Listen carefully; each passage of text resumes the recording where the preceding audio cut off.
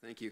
Uh, so, good afternoon. I'm really pleased to uh, kick off what will be a, a really 15 rapid fire uh, presentations this afternoon. And I'm uh, pleased, even after that rather gloomy introductory talk by Patrick, I think we can all go home now. But uh, perhaps not. Perhaps there's something to be um, rescued from this dire situation that Patrick has, uh, has outlined for, for us. Um, and today I'd like to just toss a very simple idea um, onto the the, the conversational heap uh, that we'll have today, and it's uh, around the future of the city. And my main idea is that the physical and demographic changes that are occurring in the so called suburbs, not just of Vancouver, but of other uh, North American and global cities, including places like the city of Surrey, where I work, uh, constitute no less than a real shifting of metropolitan structure uh, and an opening of new global economic and cultural pathways and connection points arrival districts that increasingly bypass uh, the central city.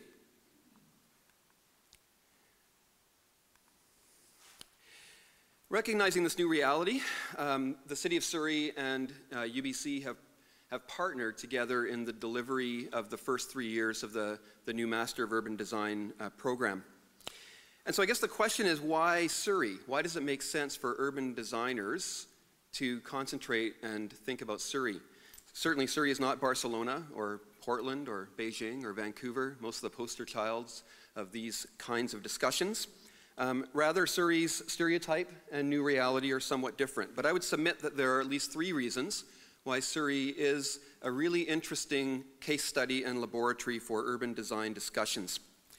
The first is that Surrey's rapid growth, about 3% per year, is occurring uh, in an era of globalization, of these shifts that Patrick talked about, uh, and the realization of the end of cheap energy, particularly cheap transportation energy, gives us the opportunity uh, to really leverage this growth to create a new kind of suburb, a new kind of city. Uh, the second reason I think that Surrey provides uh, an interesting case study is that it's uh, perhaps a leading or one of the leading North American examples of a kind of a refashioning of a suburban structure, an automobile oriented suburban structure, uh, into something much more interesting um, and uh, more urban. And the third reason is that although Surrey in some ways is unique, it's also a model for cities around the world undergoing uh, similar transformations. For Surrey, uh, why, why MUD? Why the Master of Urban Design uh, program's focus? For us at Surrey, the focused attention of young, bright international students um, on our city opens up fresh perspectives on managing our growing pains, our inevitable growing pains that are inherent uh, in this uh, uh, really quite dramatic uh, metamorphosis. So, in the short time that I have remaining, um, I'd like to take you on a little bit of a guided tour uh, to illustrate the scale and sweep of the transformation underway in Surrey and, by extension, in other similar cities.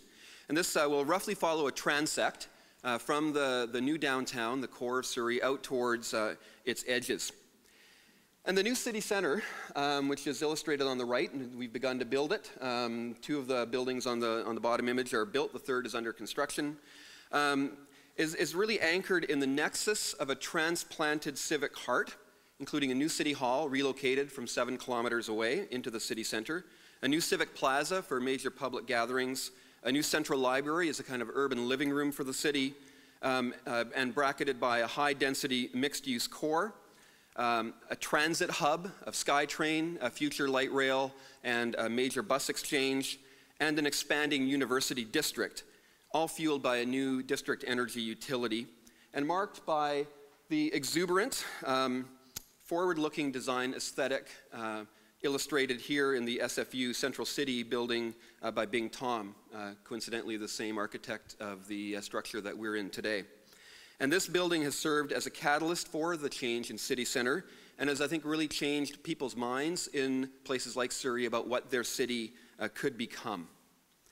The civic heart is reinforced by an emerging, uh, what we call Innovation Boulevard. It's a cluster of health and high tech research and development and business incubation spaces anchored by the newly expanded uh, medical precinct, um, the uh, hugely expanded Surrey Memorial Hospital, uh, and uh, ancillary spaces, uh, and the burgeoning university, Simon Fraser University, Surrey. Moving outward from this core, oh, and I should mention that the bottom two buildings have been completed in the last year, and the um, upper image, that building is in the ground or coming out of the ground. Um, so this is, is real-time stuff. It's emerging. It's happening. Uh, moving outward, the city has asserted uh, and positive, uh, a positive transit vision of radiating at-grade light rail lines, tying the disparate town centers and neighborhoods of the sprawling district together and converging at this core. Um, a transit system at grade, uh, integrated into the fabric of the city, uh, not riding above it or burrowed beneath it. Along these corridors, work has begun to reorient neighborhoods around anticipated transit station locations uh, at a density and scale that supports rapid transit, while is also sympathetic to the established neighborhoods that uh, this line travels through. In new planned neighborhoods, the city is incorporating and encouraging new housing forms, at least new for suburban municipalities, um, and new forms of tenure, such as fee simple row housing, uh, manor houses, stratified and rental, uh, coach houses, carriage houses, uh, to meet the needs of changing household uh, structures, often driven um, by immigration patterns.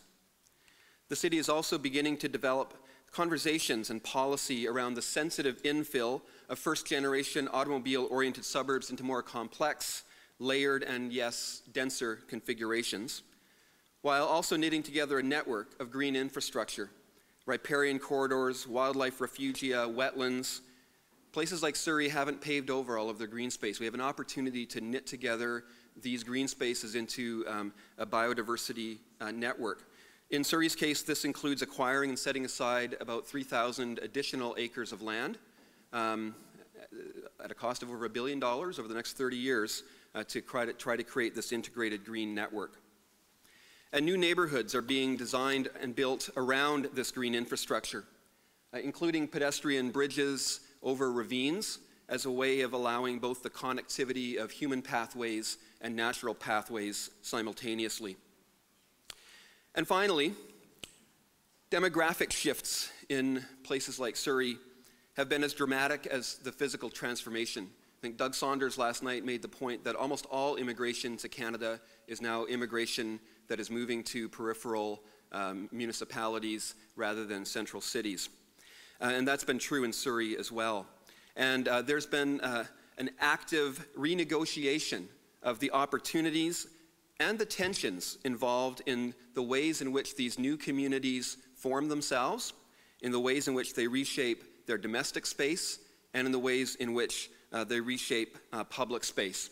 There's a lot of debate in Surrey, for instance, around the housing type shown on the, the bottom right, which is a housing type that is appropriate to multi generational families, but is perhaps uh, novel and even disconcerting for uh, residents of established neighborhoods where the idea of the nuclear family is, is the norm. So, all of these things together, uh, including uh, uh, very different kinds of places, lead me to suggest that the metropolitan structure is being uh, reformed, refashioned. So a few days ago, I saw this ad uh, in the Georgia Straight for a new development. It's actually in East Van or Mount Pleasant, I think it is, uh, that proclaimed that the center of the city just shifted. And I'd submit that uh, the sorts of wholesale transformations, changes uh, occurring in Surrey indicate that perhaps the center is shifting a lot further than we may think. Thank you.